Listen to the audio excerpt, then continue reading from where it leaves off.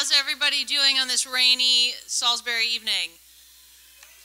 I'm Julia Glanz, I'm your city administrator, and I am here to give a little bit of an update on where we are this evening and timing. If you were on uh, social media today or if you were on C-SPAN today, I'm sure there's many C-SPAN watchers in the room, uh, you saw our great mayor testifying before the Senate um, on the bipartisan infrastructure bill. So he was there speaking about why it's important, uh, thanking our senators first for the money that has been passed down uh, to many local jurisdictions across the country, uh, but to reiterate why it's important for local government, those closest to the citizens, to be entrusted with those dollars to make important transportation decisions uh, instead of allowing no dis no disrespect uh, our state partners to uh, decide what to do with those those those dollars, which may just go into highway widening projects and things like that, which uh, we know have their challenges.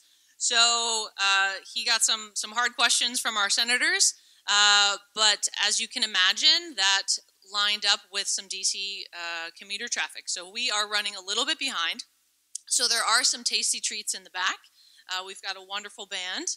And, uh, you know, if anybody wants to come up and do some karaoke, we can arrange that. April, I'm feeling, I'm feeling like you're feeling it. Yep. So uh, we are going to get started at about 7:20, uh, and then he'll make a grand entrance a little after that. Uh, so just wanted to update folks. If anybody does have to leave early, totally understand um, that this is uh, a big ask of all of you, but appreciate your patience and understanding as uh, both of these events tonight were incredibly important. So we want to do both and didn't want to cancel. So before I introduce our first guest, I do want to make a tiny little pitch for our uh, comprehensive ba plastic bag reduction uh, ordinance. Grace Murdoch will be passing out reusable bags at the end of the evening. So if you'd like a reusable bag uh, to support our green efforts, please see Grace on the way out. Thank you, Grace. So I'd like to welcome up our dear friend who has uh, also traveled quite a distance to be here tonight, back from Hawaii uh, on a much-deserved uh, break and, and, time away from Salisbury, uh, our dear friend, Reverend John Wright.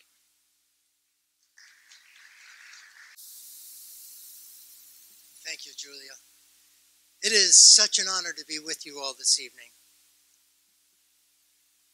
I would like to invite you to please join me in the spirit of prayer as I read this invocation. Mother, Father, God, Yahweh, Allah, Great Spirit, First Cause, you who are known by many names and yet fully known by none. We open ourselves to you and call upon you to be with us this evening. We are the inheritors of this land where lived our Choptank, Wicomico, Lenni Lenape, Nanticoke, and other ancestors. We are the inheritors of this land, worked by slaves and descendants of slaves, owners of slaves and their descendants, immigrants and descendants of immigrants, we are the inheritors of this land with its rich and complicated history, its glory and its shame. We are the inheritors of this land, its abundant wildlife and fertile soil, its marshes and its bays. May each of us in our own way be worthy stewards of this rich and complex inheritance.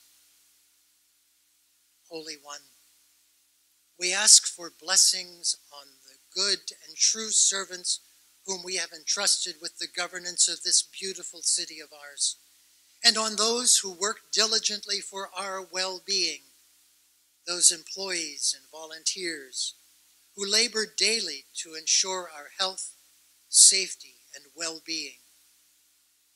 May they recognize the common humanity and human needs that bind us together and see our differences as uniqueness rather than division.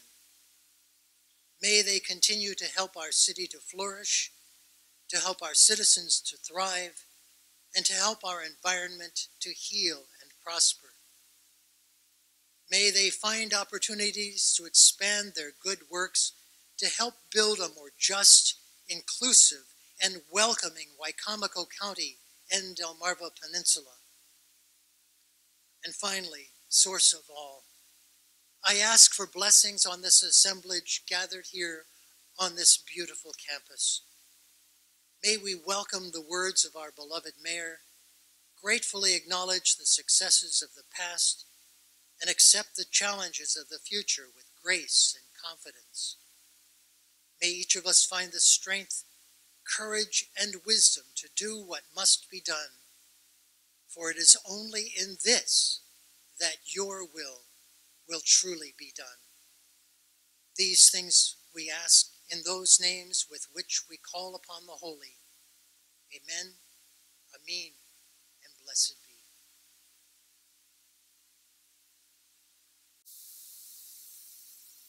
Thank you, John, for your beautiful words. It's always such a pleasure to hear your prayers and take time to just slow down a minute and really think about what's uh, important to all of us. Our next speaker, uh, bringing greetings from Salisbury University, is Dr. Karen Olmstead. Uh, Karen has been with the university since 2008 uh, and recently has announced her retirement next December.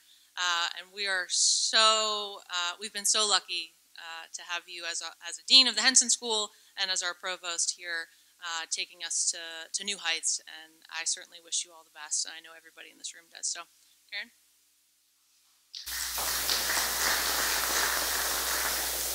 so much, Julia. And uh, so, yeah, I've been here 15 years, but I've been an educator for well over 30 years, and I can tell you that being part of this uh, this enterprise, one of my I think greatest delights is seeing our alumni go off and do amazing things, and so um, I appreciate that. So yes, I'm going to bring greetings. I'm the provost, and um, my guess is many of you don't know what that is. Most of my life, I didn't know what that is, um, but I'm the academic vice president, so the chief academic officer of the university, and I'm bringing greetings on behalf of President Lynn Lepre, who is in California, where I, I imagine it is sunny there today um, at a conference, so she regrets that she can't be here today, but I'm happy to welcome you on behalf of her and the entire campus community. Before I get to my formal remarks, though, I just thought since you mentioned my retirement, Julia, um, I was just backing it up a bit before we came to Salisbury. I went to uh, University of Maryland College Park for my PhD, but I really hadn't spent much time on the Eastern Shore when I was in graduate school, and I, I grew up in an Air Force family, so we really never lived anywhere very long. But when I lived in the Upper Plains for 17 years and, and uh, worked in a university out there, I always had that kind of iconic Chesapeake Bay map on my wall. I think you remember you remember that from years and years ago, and Salisbury's right in the middle of it. And especially during the brutal winters, I would I would think, boy, I would give anything to live there. You know, between the bay and the ocean. And then when I saw the position advertised in uh, the fall of 2007 for the Henson Dean job here at Salisbury University, I applied and was thrilled to uh, get it. And my folks lived in Annapolis at the time, uh, so it's just been a wonderful ride. But uh, the time has come, I think, at the end of next year for me to have a little more flexibility to be more available to my family. So now, just thinking about my formal welcome, you know, everybody has a mission statement, statement, and certainly the university does. And part of ours says, and I won't, uh, maybe in, in the spirit of filling time, I should read the whole mission statement, but I'll spare you. Um, but part of our mission statement says that believing that learning and service are vital components of civic life, Salisbury University actively contributes to the local Eastern Shore community and the educational, economic, cultural, and social needs of our state and nation. And certainly our deep relationship with the city um, and the county and the state allows us to carry out that mission, whether it's through collaboration around the arts, economic development, support for vulnerable populations, strategies for environmental sustainability, to support a healthcare environment, or the continued vitalization of downtown. And we look forward to, in the very near future, engaging with the city and um, beyond in our new general education curriculum. Um, I think those of you who participated that when you were in college may have seen that as kind of a box checking exercise, but we are really revitalizing our general education curriculum to include three required experiences in civic and community engagement, environmental sustainability, and diversity and inclusion. I think the city offers us so many opportunities to um, allow students to take courses and connect with the, um, with the community around those three things. I know that uh, each of those very close to many of your hearts and certainly to Mayor Jake Day's as well. And then finally, I wanted to thank the city for um, our longstanding partnership between Salisbury University and the city of, of, of Salisbury. And this was integral in us winning in 2020 the Carnegie Foundation's uh, Community Engaged Campus designation, which is not held by a lot of campuses. It was really huge that we won it, and our Institute for um, uh, Public Affairs and Civic Engagement really, uh, Sandy Pope was really in the lead on that. And in reviewing the applications, which are like 100 pages, Carnegie looked really closely for evidence of two-way benefit, two-way feedback, where we were really working on behalf and support of the city, and then the city was uh, working with us, supporting our students, a really integrated approach. And we had no trouble demonstrating that, and we're able to win that designation. So we're good for, I think, about eight more years, and then it'll be re-upped again. So we're delighted to host the State of the City um, tonight here on our campus, uh, rainy as it is. And I look forward to when the mayor arrives, hearing what's going on. Um, I, I, think he has an excellent excuse um, tonight to be a little bit late, but um, thank you all for being here and welcome to Salisbury University.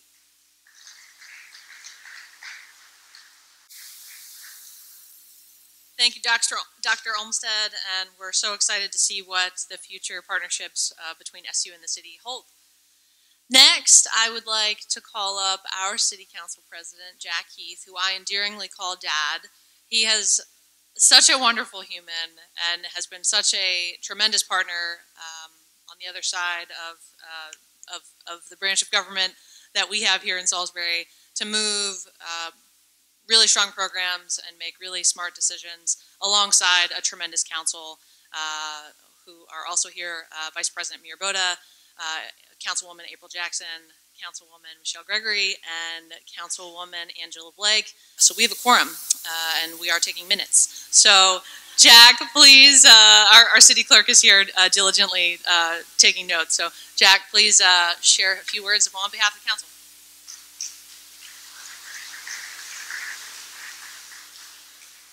Good evening. I'm, I'm glad the mayor is almost here because I was, trying to figure out how we're going to stretch this. And I was trying to figure out if I remember the dance moves from when I was taking dancing lessons when I was 11. Uh, so you, I'm going to save you from that. Um, I'm going to change things. I'm going to change things up a little bit. Um, the mayor does a tremendous job, better than I could ever do, in talking about the successes of the past year. So I just want to recognize a few people first. And when I call your name, please stand. Vice President of the Council, Mr. Muir Boda. Stay standing. Councilwoman April Jackson. Councilwoman Angela Blake. And Councilwoman Michelle Gregory. You may be seated. Now I'm going to, April, I can't be your dad. You're just about the same age as me.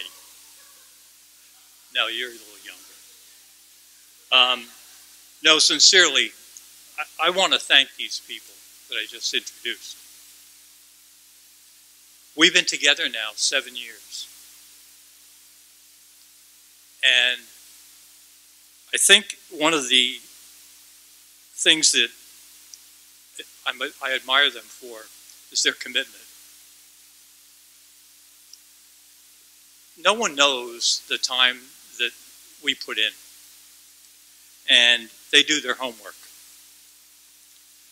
And another thing that I'm proud of is in the seven years that I've been president, I have never had to use the gavel in a meeting.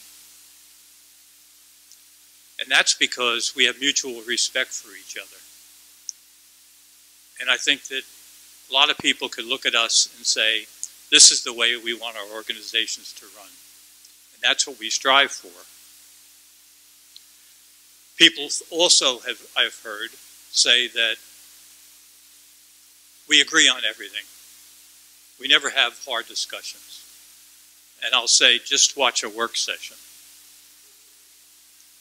You won't see us fight. You won't see us argue in the council meetings. Those are the formal actions that we've already pre-decided in the work sessions. And the reason we can do that is because of the mutual respect we have for each other. We would not be able to have the successes that we have had if it wasn't for them. So thank you very much.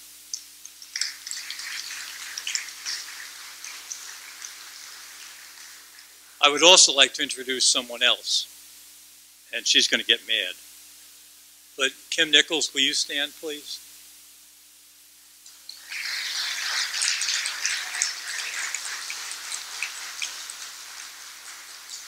Kim, for those who don't know, is our city clerk. And I don't believe Julie's here tonight. Uh, but I also want to recognize Julie.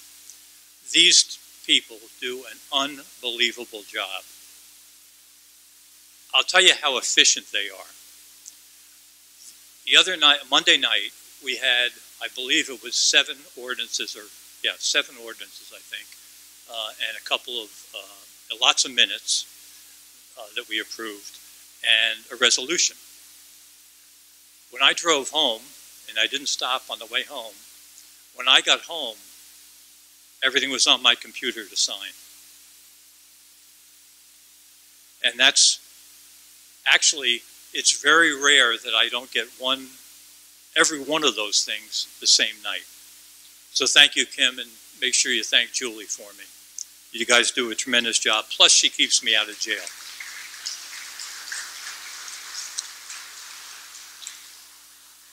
The next group I'd like to thank is all our city employees. This has been a heck of a couple of years.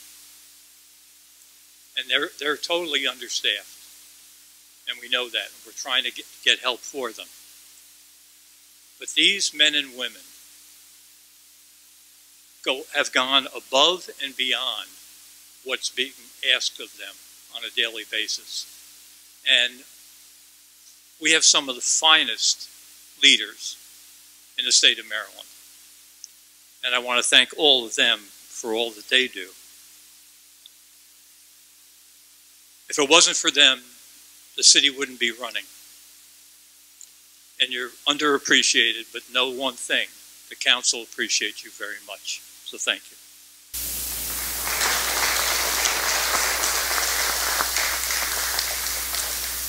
I'm just going to take a couple of minutes in reflecting back on this last year. Because you never, you never really take time to smell the roses. Notice, Nancy, I'm smell the roses. Um, but we don't.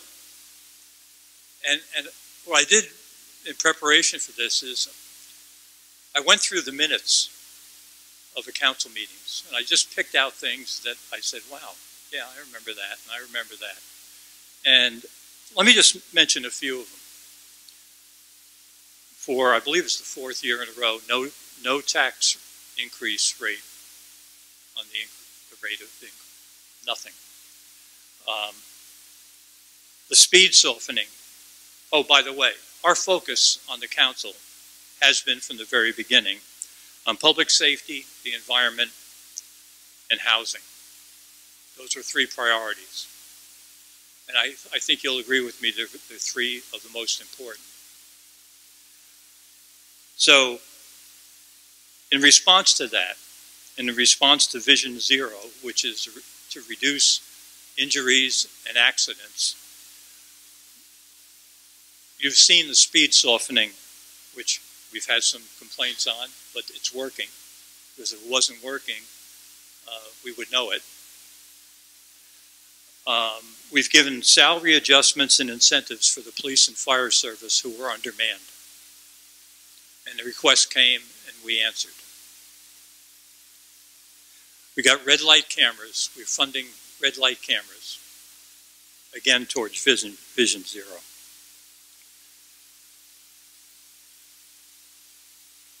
We've done what I think is one of the greatest things we've ever done since I've been on the council, and we approved and constructed our tiny homes on Ann Street.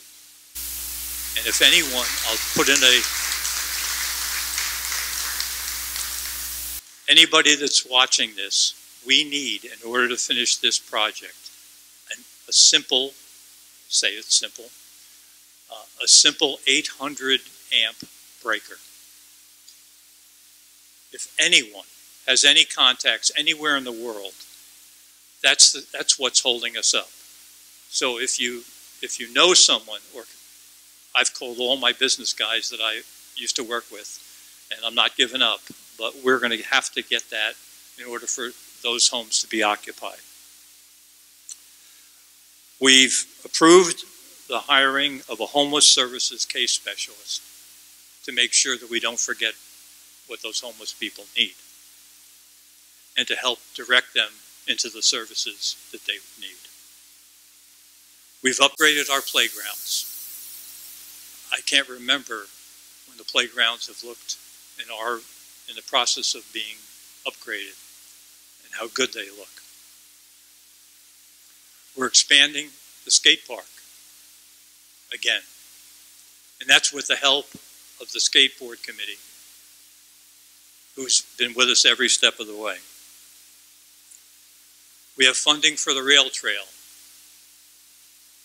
Fruitland to Delmar.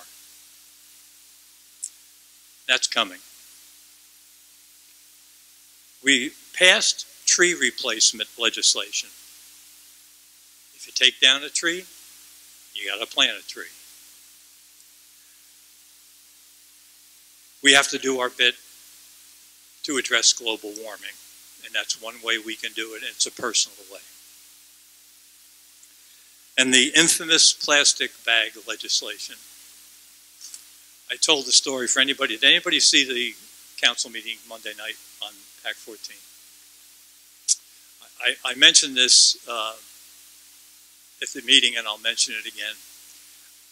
Um, in case you didn't know, the, all of the council members get um, frequently uh, emails and voice messages from constituents who, in some cases, thank us for what we do, and in other cases, not so much.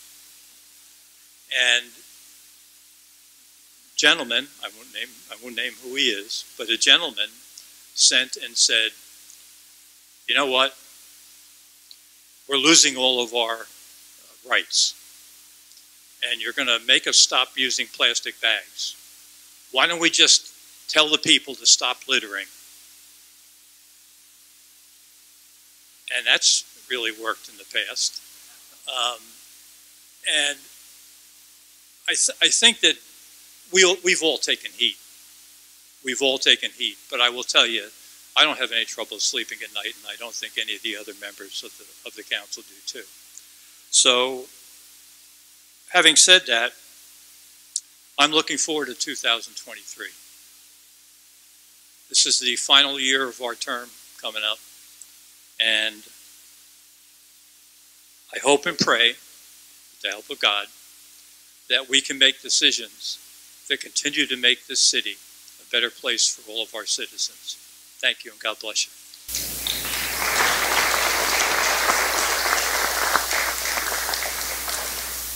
Thank you, Jack. And again, thank you for your partnership. It is a pleasure to work with you and uh, our entire council.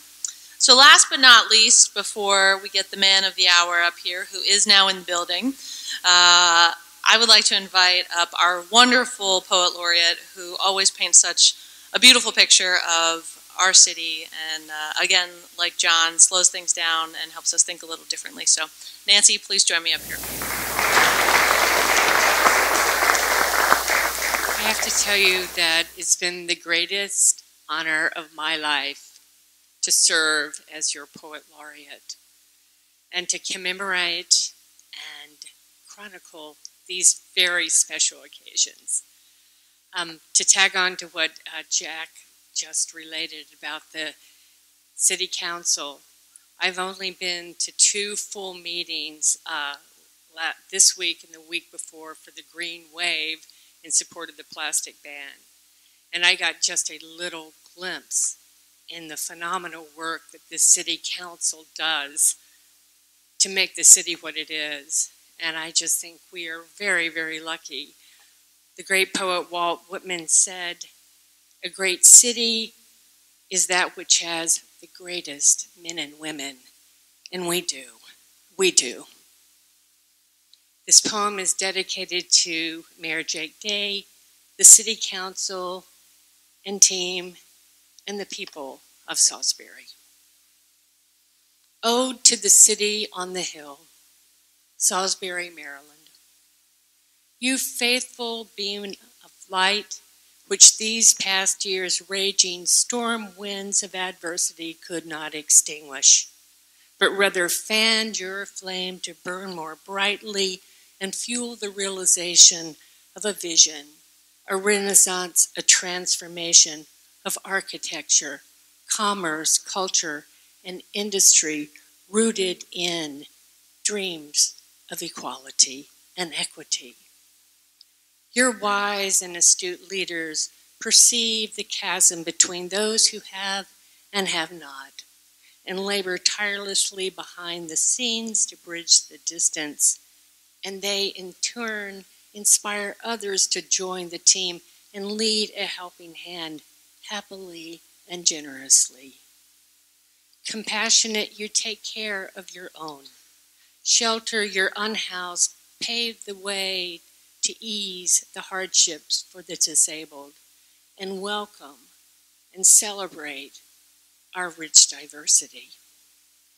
In you, no decision is made or mandate created unless it supports the proclamation we are all equal here. Keen to the human need for culture, music, and community, you provide them free and abundantly. And the soul's longing for natural beauty and repose, you fulfill with public gardens, parks, and green spaces home to natural species and pollinator bees and birds. Yes, our fair city on the hill. Into the years you'll shine on into the outlying dark and draw others like moths to the city of integrity, ingenuity, respect and kindness, and equality. And should we travel near or far from you, we will carry you in our hearts, and they will know us by your light. Thank you.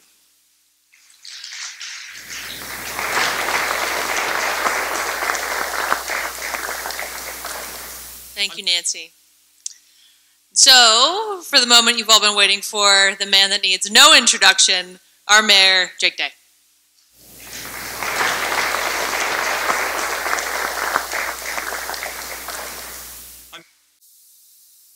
Well, good evening. So I just flew in from Washington. It's the start of a joke, and uh, and it kind of felt like that as we nearly hydroplaned quite a few times trying to get back here as quickly as possible. No, no, Andy, you're a great driver. Uh, look, I, I, just want to say, and I said this uh, a moment ago, um, you know, social media posts sitting back there listening. You know, we're so blessed. Um, Dr. Olmstead, thank you for having us here. Um, John, thank you. And, and, Jack, thank you. Nancy, uh, uh, where'd you go? You're such a talent. You really are. And we're blessed that you're a poet laureate. I, I know Jack mentioned this right before I got here, but you know, we're also blessed that we have a team um, that works so well together. And uh, it wasn't always so in our community. So uh, to Jack, to Muir, to April, to Michelle, to Angela, thank you for being that team for our community. So, welcome to the charter mandated 2022 State of the City address. I'm going to give you an update on the state of our city, but it's a snapshot in time, right? But what I want you to remember is that for four, eight, 12, whatever years, we're but stewards of this community that is on a continuous and unending path from 1732 until wherever we're headed. And the most important question for us to consider is during that time, when we're the trusted stewards, how much did we get done to make progress on each of the measures of a healthy city? And if we think not just about our vantage point today, November 2022, and asking that question from where we sit in this moment, well, let's put ourselves in the shoes of our forefathers. In the mayor's seat, behind the council table, in the squad car, or on the riding mower, or the jump seat, or at the lever that they held at that time. What would their motivators and what did their vantage point suggest that a great city should be? How are we answering the question that they would have asked themselves at that time what does a better Salisbury look like? So come back in time with me. Let's look back at their words and view with their eyes where we were and where we are today. The year is 1968. This beautiful new plaza demonstrates new life, a new appreciation of the better things of life. It shows that this is a city trying to be known for its people. So said Congressman Rogers C.B. Morton. The American landscape was changing. The advent of the modern automobile industry made it possible for people to move further from work. The American suburb became the desirable dream for middle class families. And as cities from Salisbury to Frederick to Houston emptied of their populations, urban cores changed in their role from the shopping epicenter to a 9 to 5 office park that would become a ghost town every evening. Every city official would be focused on how to renew and revitalize their city and their downtown. And as single uses clustered into new development patterns like suburban indoor shopping malls, the question became one of novelty. How do we create interesting alternatives to those malls? In hundreds of American cities in the 1960s, the answer was outdoor pedestrian plazas. This strategy worked in a lasting way in but a few American cities Burlington, Vermont, Charlottesville, Virginia, Miami Beach, Florida. But in most places, more shops closed and left for higher traffic counts. So the toil continued in, in Salisbury as city leaders, shop owners, and residents struggled to find answers and invested heavily in thoughtful planning processes. In 2015, the Downtown Master Plan presented just such a process and just such a vision. With the input of thousands of Salisbury residents, this plan gave us something to follow. Checking off items on that to do list over seven years, we have seen a downtown not complete, but completely transformed. Today, you can find 20 restaurants, bars, and bakeries, 70 small businesses, retailers, and shops. Every single building renovated since the year 1990. And for the first time in recent memory, every single building either fully occupied or under construction. You can find a totally renovated Riverwalk with new landscaping and lighting. All of those forgotten spaces filled with lovable parks, an amphitheater, a labyrinth, a dog park, an edible garden, and a riverfront games park. And you'll find the first stages of a new living room for our city, Unity Square, with the rest starting construction in the coming months. And most importantly, you'll find the construction of the first new private building in over half a century. Insane that that's true. Perhaps the single symbol that our forefathers and dreamers of this city always hoped for, but never existed until 2022 a tower crane, 220 feet in the air over our city's heart. The year is 1983. I am enthused by the renewal of widespread interest in community oriented events. It makes you feel good about the place you live.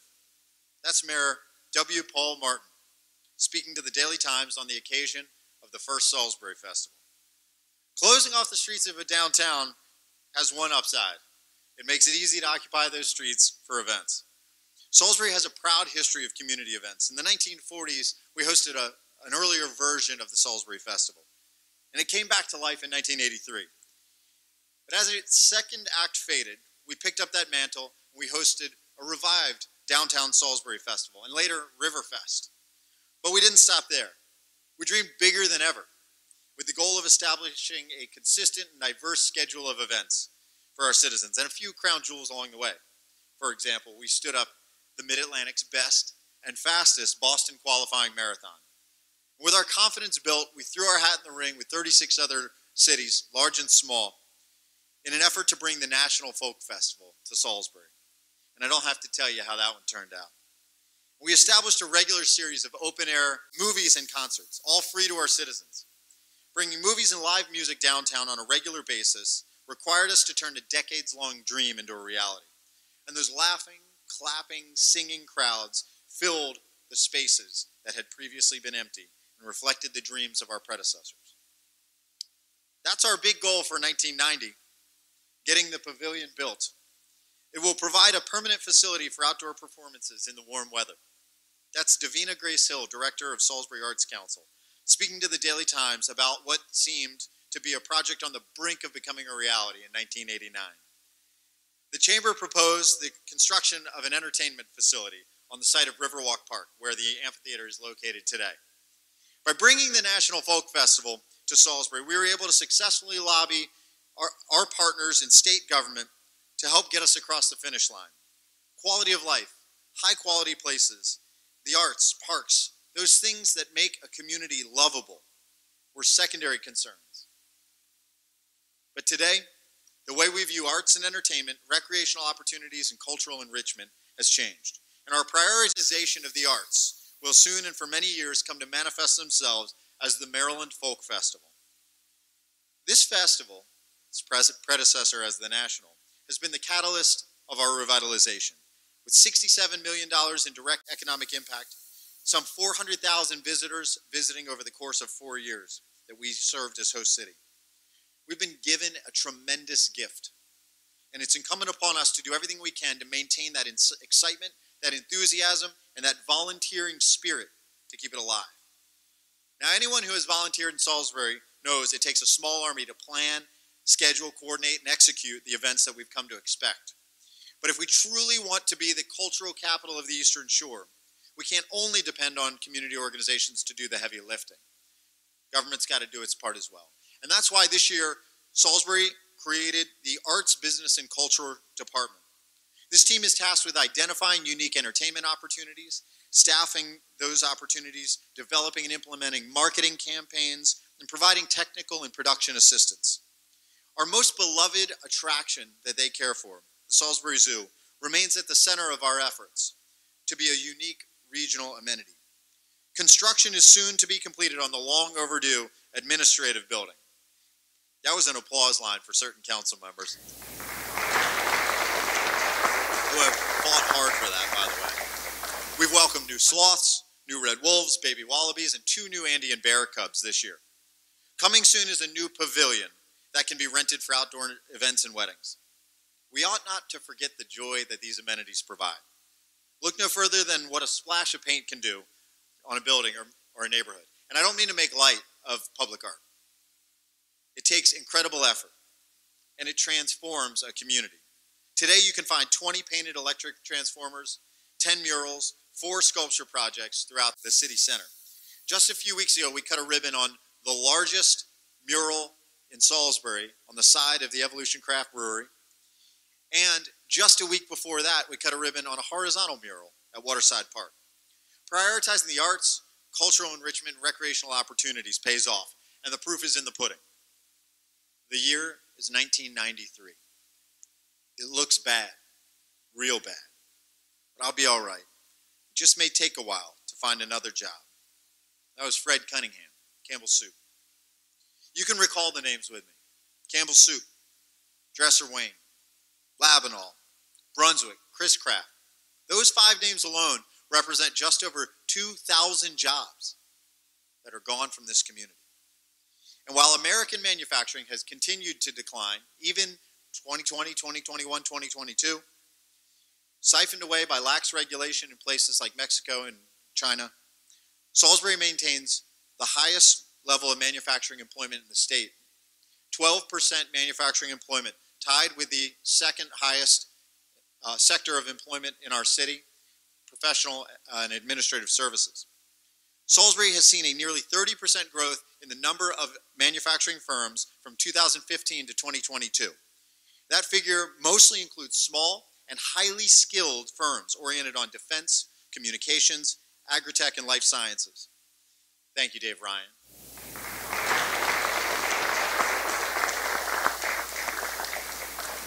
During that same period, since 2015, we've added more than 7,000 jobs to the core of Wicomico County. And there are more on the horizon with the recent announcement of 150 jobs coming to our beloved Chesapeake Shipbuilding. And these jobs aren't paying what they used to pay. Per capita income has finally started to rise. Dur- since the Great Recession, per capita income has risen over 15%. These statistics are all a reflection of the hard work to, that we have put in to make a comfortable place to live for families starting their life or choosing to leave behind larger metropolitan areas. And you've all likely seen these superlatives lately. Salisbury has become the number one place that people moving out of the Washington, D.C. metro area are moving to. Salisbury has become the number one place that people are moving out of the Baltimore metropolitan area too.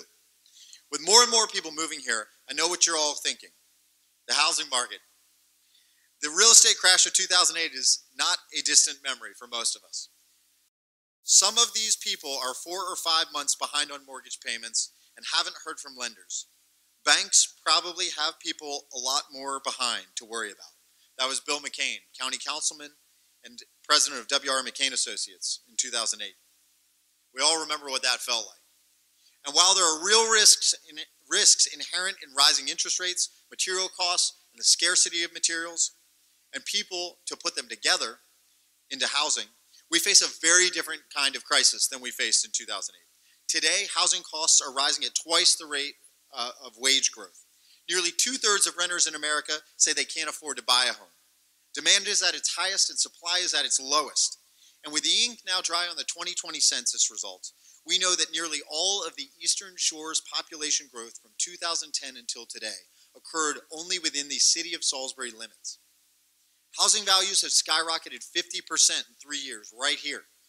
The average that a home is on the market has shrunk to eight days. Salisbury has led the assessable value increase in the state three years in a row. People want to be here, but we don't have the houses for them. Just one year ago, recognizing that this was the single most destructive force facing most people in our community, we announced the Here is Home legislative package. This three legged stool of policy solutions sought to address unaffordability, the housing supply shortage, and homelessness. And the reaction of the market was overwhelming. Home builders, landowners, and real estate developers responded with, over the course of a 90 day window, with $1.4 billion in new housing proposals. To put that in context, that's a 175% increase in total existing housing in Salisbury. That represents a 67% increase in the total assessable base of our city. Over 8,000 new housing units were proposed, including single family, duplexes, townhomes, student housing, uh, affordable housing, uh, assisted living, and, and senior uh, or age restricted facilities. That's more housing than has been added in the last 27 years to Salisbury, the past 22 years to Wicomico County in its entirety. And that's three times the number of houses that were added to the entire Eastern Shore since 2010. This work represents the creation of an estimated 28,000 construction jobs over the coming years and 14,000 permanent jobs if built out entirely. It would also grow our population 65%. For a city that saw a housing construction slowdown like the rest of our nation since 2008, here is Home will and already has gotten us back on track. Today, more than 1,500 of those homes are already under construction, with the most visible of those units rising higher in the air than any other apartment building on the Delmarva Peninsula. And it isn't just housing that's being built, it's everything. And to give you some context as to what those numbers look like with respect to history, since I first joined the City Council, we've seen $604 million in construction. Far and away, the busiest time for growth in our city's history. And in no year have we seen more construction than in 2022. $138 million in construction activity in one year.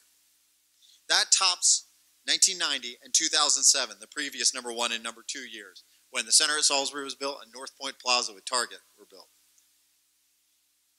Construction activity doubled from 2014 to 2017 to the 2018 to 2021 period, and doubled again just in 2022.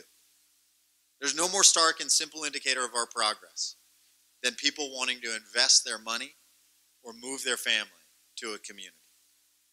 And we have the capacity to grow it even more. The year is 2005. Wastewater treatment plants need to be upgraded to make sure that spills like this don't happen in the future. And Salisbury's taking strides. So said Alan Gerard of the Chesapeake Bay Foundation. When it was discovered that the wastewater treatment plant had spilled 400,000 gallons of raw sewage into the Wicomico River in 2005. The call to action was immediate. We knew the health of our river was in crisis. Our wastewater treatment plant is one of our city's most important facilities. The environmental impact of a plant like that can be massive, no matter how you swing it. But after years of spills and various other detrimental environmental consequences, the confluence of old infrastructure and big thinkers meant that we finally completely overhauled the plant. We've already seen record return on that investment. The new plant has consistently maintained greater than 72% reduction and 90% reduction, excuse me, 70% reduction in nitrogen and 92% reduction in phosphorus to the river, making for the cleanest effluent our city has ever produced. Protecting our waterways is a sentiment that's woven into every bit of our sustainability efforts, but it couldn't be done without an incredible waterworks team to help in maintaining a clean and healthy Wicomico River in Chesapeake Bay. The idea of it being near and removing a forest, which is so close to one of the prongs of a watershed, really bothered me because those trees and that forest really serve as a natural filter, and we don't have much of that left in this county. That was Barry Johansson, Executive Director of Wicomico Environmental Trust. It was precisely this ethic that led to the largest conservation easement in a municipality in Maryland, the Naylor Mill Park and Trails. It was an unconventional response to a quintessential conundrum. Only one thing could go there, but two things wanted to be there. And at the end of the day, it was our ethic oriented on the Wicomico River that made the decision easy. Our efforts to protect our limited water resources extends deeper than surface waters, though. At least 300 feet deep, right? Where's Corey? I think I'm getting that measure right. Our water treatment plants have consistently produced Maryland's best tasting drinking water, all drawn from the coastal plain aquifer. Five of the past seven years. Not only can we say we're providing clean water, but we're providing the best tasting drinking water as well. We've made monumental strides in our sustainability efforts, establishing a green team composed of some of our region's best sustainability minds, tasking them with tuning in to the needs of our the environmental needs of our residents. And with their help and the help of former sustainability uh, specialist Alyssa Hastings, who by the way is the first and only sustainability officer in a Maryland municipality or in an Eastern Shore municipality. Did I is she here? She's back there. Hey, Alyssa, there she is. She doesn't work for us anymore, by the way. Don't applaud her. Don't, don't. I'm teasing. She's wonderful, and she's going to go work for Senator Van Hollen now. But their work helped to ensure that we became a bee-friendly city, a bird-friendly city, a bike-friendly city, and even an Arbor Day Foundation tree city. We resurrected the Environmental Policy Task Force, which established and prioritized sustainability goals for other aspects of the city. And in response, our citizens have showed up. There's a palpable drive to make our city a, a greener and cleaner place. During COVID pandemic, one of our citizens exemplified this dedication. He showed up and he showed up again. Craig Fonts made it his mission to reduce litter throughout our city, cleaning up bucket after bucket of cigarette butts, plastic bottles, fast, fast food trash, and plastic bags strewn in gutters and across parking lots. And at this year's Earth Day celebration at the zoo, I was proud to name him Salisbury's first Secretary of Clean Streets, establishing a relationship between volunteers and city government that will inspire others to follow in his footsteps. Soon, we hope to make his job significantly easier with the introduction and passage of the Comprehensive Litter Reduction Ordinance, product of the Shop Green SBY initiative. This law will eliminate plastic bags at the point of sale in Salisbury in 2023. By doing that, on the front end, we will see significantly less litter in our streets, and that will be less litter in our river. This shift is a long time coming, and it will cement Salisbury as an environmental leader, something that we continue to strive for statewide. I'm proud to be a city that leads in ways that reflect our values, a city that is kinder to our planet and kinder to its inhabitants. The year is 2007. What we need most of all from the city is compassion. Don't look past us or look at us like we're diseased. Living in these desolate places makes you feel destitute and lonely. That was a homeless resident of Salisbury, Gregory Dennis. Ever since the Federal Housing Act in 1965, the federal government has taken an approach to homelessness that pretends to solve a problem without ever getting close enough to understand it and without ever even coming close to adequately funding. Recognizing that Mr. Dennis's plea is what we must keep front of mind, we met with the Continuum of Care, the collective of organizations that works on homelessness on the Lower Shore. frustrated by the fact that the city was not yet at the table, and yet the phone on my desk constantly rang from residents concerned about homelessness and panhandling and wanted us to do something about it. I posed the question to the COC if we were going to get involved, what would you have us do? And their response was stunningly simple. There was one answer house the homeless.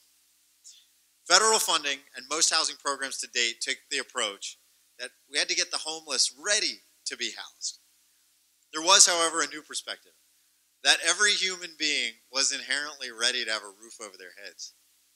And that housing was the first and only way to take a step toward getting them to a place where they didn't have to worry about safety. They didn't have to worry about cleanliness. They could worry about the deeper issues that had gotten them to that place. So within a few months, the city of Salisbury had a new department, the Housing and Community Development Department. And that team has a homelessness division that is now four positions strong. We've housed 33 people permanently who were formerly chronically homeless.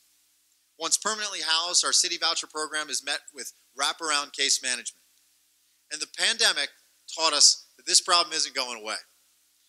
There are still people on the street, and we are committed to being a government entity that will end homelessness. That's why, through our Here is Home program, we announced the creation of a transitional dwelling unit program and ultimately the Ann Street Village. This will provide transitional housing for up to two years for 24 individuals, providing them with wraparound services, shower, bathrooms, laundry, and mail services, and a safe, warm space from which they can get their life in order and start to work on those deeper issues. That project is now under construction and will soon be home, as long as we get that 800 amp breaker. I heard you. it will soon be home to those who today have no home. These solutions have helped us divert people from the criminal justice system, emergency medical system, and our emergency department who have received basic care from a more sound footing, freeing up our police officers, our doctors, our firefighters, and EMTs to focus on more serious and deeper burdens. The year is 2009. I'm here to work shoulder to shoulder with the men and women of the SPD to push down crime and the fear of crime, and also to get to the root causes of crime in Salisbury. That was Police Chief Barbara Duncan upon her arrival to our community. We wanted someone who could, could combat long running, persistent policing issues in our city head on, but with a twist. We wanted someone who valued holistic, community centric practices that would establish good rapport with our citizens and more specifically with our youth. The Salisbury that she arrived to was not dissimilar from most places in America after a long decline in crime from 1994 to the early 2000s. Crime had risen back to its 1980s levels, reaching a climax in 2009. Since that time, our police department has reached new heights and has brought our crime rates to new lows. From 2006 to 2016, Salisbury had the fastest declining crime rate of any city in the United States 100% decrease in arson, a 63% decrease in burglary, and total Part 1 crimes decreased almost 50% from 2010 to 2020. And crime continues to drop, as it has every single year since 2017, bucking the national trend through the pandemic of rising crime rates. This is all to say, while we've reinvented our approach to policing, we've seen a steady decline in, in crime as a result. And this is how trust is built and rebuilt. We have readily acknowledged that our officers have perhaps the most difficult job in America, entrusted with deciding life from death protecting and risking their own life, expected to make all decisions in an instant, and serving under a microscope, with the worst examples always caught on camera and shared a million times over. And we believe to be trusted, you must be trustworthy. We were a regional and state leader in our body camera program, and we have had a massive shift in our attention to officers' quality of life with equipment, an expanded take home vehicle program, new weapons, and an on site fitness center focusing on physical and mental health. When the proper resources are prioritized, our citizens reap the benefits, and that is clear nowhere more so than with our youth. We resolutely believe this proposed curfew ordinance does not address the root causes of juvenile crimes and thus will not solve the problem. That was Theo Williams, who at the time represented the Salisbury Wicomico Youth Civics Council. He was speaking on 2015's proposed youth curfew, which applied to children 16 and younger. As you likely remember, the curfew wasn't approved.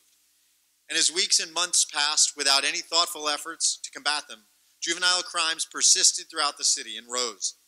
We knew that that root cause was our target, and so we set out to find an actual solution, one that we could maintain and support with people first programs and concrete goals. We determined neighborhoods where juvenile arrests were rising, and we looked into what set these neighborhoods apart, and it became glaringly obvious. These neighborhoods had no youth programming or limited youth programming.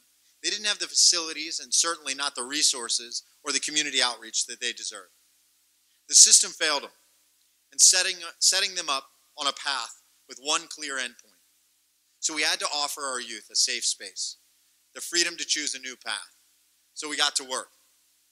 Now, I've learned that sometimes building community means just that, quite literally, constructing community.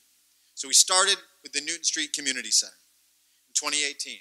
That opened finally in summer 2021, and it opened with open arms to the community.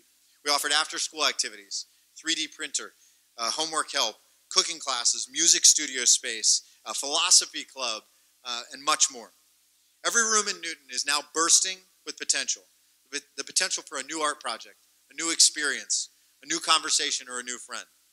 We encouraged expression and fostered relationships with neighborhood families, and we gave our youth a reliable and safe place to find their path. And the same thing's happening at the Truitt Street Community Center, where we broke ground on the second building just a week ago. And these aren't the only assets that we built for our kids in recent years. The Salisbury Skate Park, currently in the midst of its third and final phase, and construction uh, set to be complete in the coming weeks. These spaces have become crown jewels in our city, exceeding expectations and affecting real change in young lives. Proud as I am of these facilities, we can't let four walls define the extent of our services. This can be as simple as setting up a pop up bus stop, bringing out a grill to our neighborhood walk.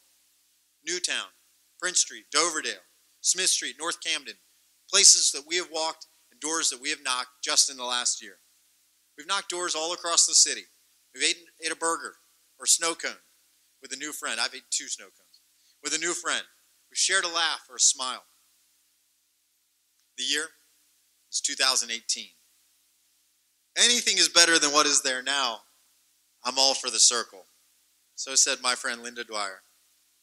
God rest her soul. Historically and across the nation, streets have been planned and designed with the speed and convenience of the driver in mind. High accident intersections and other problem areas were addressed by increasing signage or enforcement, and neither of those solutions even made a dent in the problem. To put it plainly, our roads have been too wide and too fast for too long. What changed our approach was changing our vision. In 2018, the city adopted Vision Zero, a plan that challenges us, to re- reimagine what our infrastructure should look like, and more specifically, to accept that deaths on our streets were not a given. They were the consequence of our own refusal to prioritize the lives of innocent Salisburyans over our comfort and convenience. Among the problem areas named, and this was named in a 1975 report, were overused crosstown crosstown traffic streets, including East, uh, excuse me, Eastern Shore Drive and Carroll Street. Two of the thoroughfares that were targeted for action on the high injury crash network under Vision Zero. Work is already underway on Carroll Street, and visioning has been completed for Eastern Shore Drive to make those streets safer by re- reducing both volume and speed of traffic, while using leftover space to provide pedestrian and bike facilities to make them more accessible to people who do not own or do not choose to use their automobile.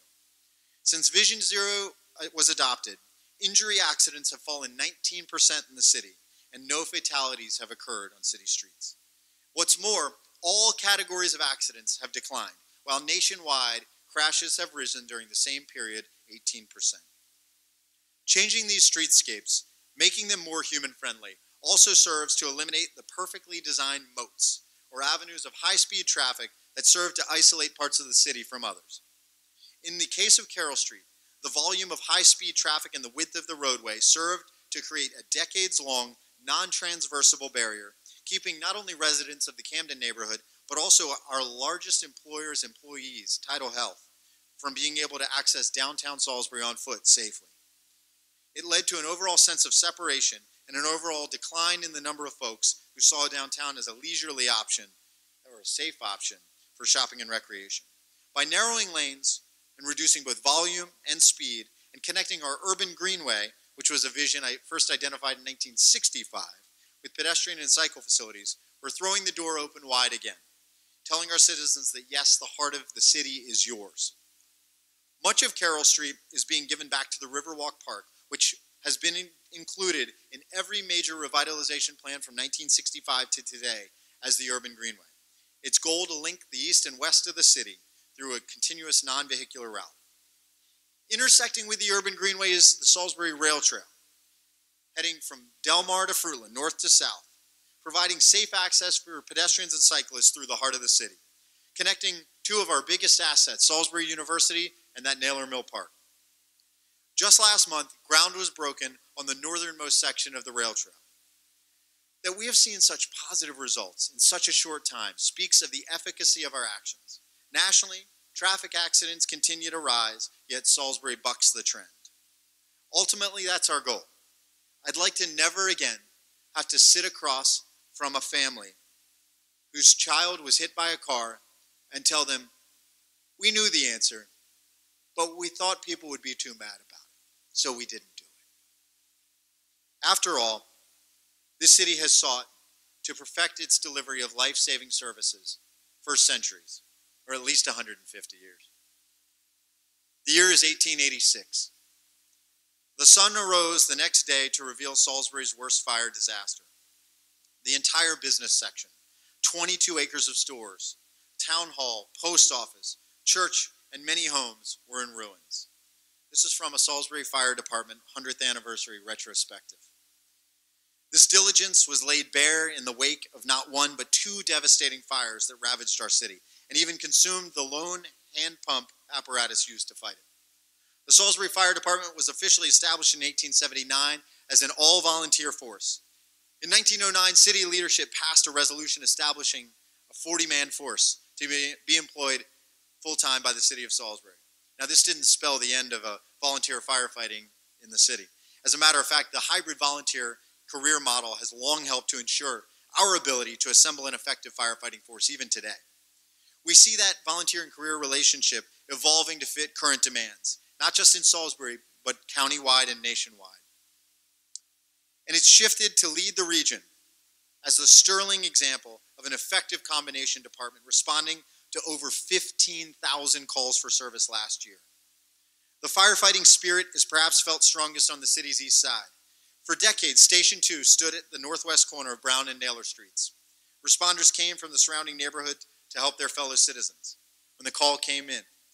On warmer summer evenings, the men could be seen cleaning the various engines and fire apparatuses outside of the lone bay. Today, that tradition continues just on the other side of the street. The state of the art facility that now stands directly across the street where Station 2 used to be represents and com- our commitment to ensuring the safety of our citizens and the safety of our firefighters and EMTs. And yes, you can still see them shining the engines on a warm evening, or more likely, racing to provide assistance to a citizen in need. But not everything our fire department does is so outwardly visible. Some of their efforts have been more discreet, and that's the case with our SWIFT team. Since 2018, the Salisbury Wicomico Integrated First Care Team has provided compassionate, proactive care to citizens who typically have no other option or don't know of the other options than a 911 call for a non emergency concern. Today, SWIFT has enrolled 195 patients. That's up from 90 in 2019.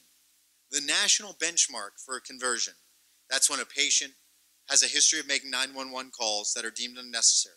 The national benchmark is 35%. This year, our SWIFT team maintained a conversion rate of 90% of those patients. This approach has helped drastically de- decrease the number of inappropriate 911 calls, and it's indicative of the same heart and spirit that led those first firefighters to volunteer way back in the 1800s. The year's 1973. It's like somebody giving you an elephant. You've still got to feed it. That was then Council President W. Paul Martin discussing the looming costs associated with the city taking possession of Poplar Hill Mansion. The home was eventually bought from Wicomico County for a dollar. Wise words that foreshadowed the many legacy costs that government shoulders over time. There are some more expensive ones, are there not, Julia? Of course, times change and standards evolve. The internet has provided us the ability to make our financial processes more transparent than our forebears ever could have imagined. But our mission is the same as theirs to make the absolute most of every dollar while improving the lives of our citizens who have entrusted the well being of the city to us. Could they have anticipated an annual budget that was so transparent, so well put together, so easily comprehended by taxpayers, so readily available to the citizens to see where their tax dollars are going, down to the cent? Could they have imagined that Salisbury's budget would be recognized by the National Government Finance Officers Association of America as one of the best? For five years running, every year since we first submitted our budget for consideration. And do you think they would have imagined do you think they could have envisioned five straight years of audits that produced not a single note? Wouldn't any municipality find it hard to believe that their budgetary and fiscal processes could be so well managed, so well stewarded, as beyond reproach? I like to think that Mayor Martin, or Council President Martin at the time, a stalwart watchdog of the public dollar, would have approved of what we're doing. The year is 2004. City employees did not get a raise last year and maybe won't again this year. But you won't notice any difference. Your garbage will still get picked up and the snow will still be plowed. I'm proud to say that my husband is a public works employee. That was city resident Heather Pfeiffer. Dedication to service. That's what gets a city employee out of bed at 3 a.m. to respond to a water main break. Local government jobs could scarcely be considered glamorous but the work has always been considered to be stable. Historically, pay raises for Salisbury employees have been periodic, sometimes years between.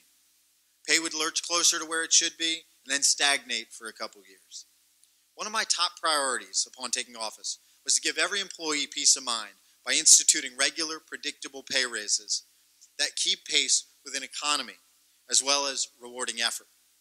And I hope you know the primary reason for that is so that they can be confident and comfortable while they go out and work for each of you. There's more to employee morale than how much we take home. We want to feel valued, appreciated. We want to know that an honest day's work still means something. We want to know that our citizens are taken care of to the best of our ability. When you have an organization with a team mentality, all wheels are putting down power. To foster that team mindset and a sense of camaraderie amongst our employees, we set up some new traditions that bring us together in fun, relaxing, and enjoyable ways. An annual night at the Shorebirds, two annual staff meetings where we talk about what's going on in our city, an annual holiday dinner and awards banquet. These are moments where we celebrate and commend those employees who have gone above and beyond in doing their job. Recognition does so much for a person's heart. Even the most humble of us feels good when we're seen. This is precisely why we also began an Employee of the Month and Employee of the Year program. All these gains, however, are fragile. They could be fleeting. The truth is, I'm not going to be mayor forever. Julie is not going to be city administrator ever. Okay, maybe Julie's going to be city administrator forever. Council will change. Senior leader roles will shift. And for that reason, I made it a priority to secure what we have built for our employees and the city they serve. This year, the City Council adopted the groundbreaking charter change and made it law that city employees may engage in collective bargaining. I've always believed in the efficacy and importance of unions in the workplace, but giving our employees more control over their pay and working conditions is the right thing to do. And it makes us even more attractive to job applicants at a time when the market is saturated with available positions and when it is incredibly difficult to keep people in their job. Over the coming months, we will finalize our labor code and begin negotiating contracts with our nearly 470 city employees. The year is 1964. Beginning in September 1965, assignment of white students living in formerly all Negro school areas will be made. This was in the Daily Times, March 11, 1964. Segregated schools were a reality in our country and our city just over 60 years ago. And some in this room may even recall a time when this was their reality or their grandparents' or parents' reality. We aren't terribly far off from 1965 in more ways than one. Our country continues to see hate that divides us. We see inequality embraced on television. We see hate crimes filmed on cell phones. We see communities torn apart, and yet we are proud to be a city where all are welcome. We do more than just say it. This year, we became the first city in our region to host a pride parade right through the heart of downtown. We hosted the fifth annual Juneteenth celebration and proudly renamed Broad Street Black Lives Matter Boulevard back in 2020. Standing side by side with residents of all races as we process the state and national racial unrest. We created our Lynching Memorial Task Force and advocated for the removal, ultimately successful, of our long-standing Confederate sign, replacing it with a marker of the three racial terror lynchings that had occurred in our community just a few feet away. Yet still, we must acknowledge that this representation can't be the end. We have a responsibility to do more, to be more for each and every one of our citizens. We have to start the conversation and open the doors for those whose voices were long overpowered by government and institutions with little care to hear them. We can't just claim that all are welcome here and put up some banners. We have a responsibility to make it true. This kind of opportunity for citizens has to be there. And that's why we created the Truth, Racial Unity, Transformation, and Healing Committee, or Truth Committee. Like all of our boards and commissions, this committee will provide guidance to myself and the council, a direct line to the senior leaders of the city to advise us on ongoing racial injustice, policy recommendations to facilitate racial healing, and suggestions of cultural partnership and more. This committee will take us into this city's next chapter of representation of equality and justice for all. And I'm proud to walk alongside them in this mission to replace division with unity and hate with love. The year is 2022. We stand not in judgment of the motives or the actions of our forefathers, rather in full faith that their motives were pure and that they wanted a Salisbury better than what they found. Our motives, we know, are pure. We want to protect the lives of Salisburyans simply trying to go about their day with the means at their disposal. We want to build a city of opportunity where every child born here believes they can stay and have a bright future here. We want to build a city that shines bright enough as a beacon across the Chesapeake and the canal and beckons to those who seek a more comfortable life. And one that not only lives up to, but constantly improves upon their expectations. Like those who came before, we have dreams. I've dreamt, first as a little kid, and now as a gray hair, of a city that affords, Julia's the only person to laugh at that, Thank you, Julia. We'll talk about that on Monday. That affords dignity to its destitute. A city that returns equal footing to its historically oppressed. A city that bestows kindness upon its fearful. A city bold enough to make and cement what was almost always left to ink and imagination. Let us hope that we will be measured by our boldness and swiftness more than our precision. For I imagine that our successors will ask of the last decade did they do what needed to be done to make change? Or did they just talk about it? So, have we done what we needed to do to make change? Have we done in our time as temporary stewards all we can to achieve the visions of our forefathers and ours today? If we believe the answer to that question is yes, then how dare we stop? If we believe that, even if we don't think every step was perfect in our miles long journey, even if we know that maybe we weren't always as precise as we wanted to be, then how dare we deviate from the progress that has been made? How dare we let anything slow down or stop this most important work? So march on with me. Let us run even faster and work even harder and not quit until there is no fight left in us to make this little city the best small city in America. God bless every single one of you. God bless you for your time, for marching with me, and for sticking with us all the way to the end. God bless you.